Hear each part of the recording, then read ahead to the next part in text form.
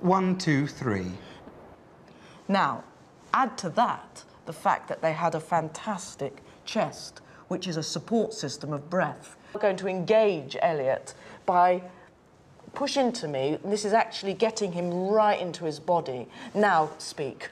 One, two, three. And again.